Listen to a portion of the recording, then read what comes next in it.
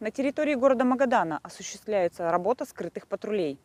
Сотрудники госавтоинспекции на служебных автомобилях без специальных цветографических схем, нанесенных на автомобиль, выявляют правонарушителей и по радиосвязи передают информацию ближайшему экипажу ДПС. Госавтоинспекторы при патрулировании обращают внимание на нарушение правил пользования телефоном водителем транспортного средства, проезд на запрещающий сигнал светофора, Право, Есть акция серая, видишь, рядом со мной? Да, останавливаю. нарушение правил применения ремней безопасности и другие.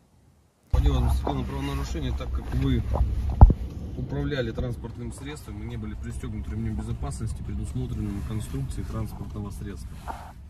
Работа сотрудников полиции на выявление и пресечение нарушений в сфере дорожного движения будет продолжена.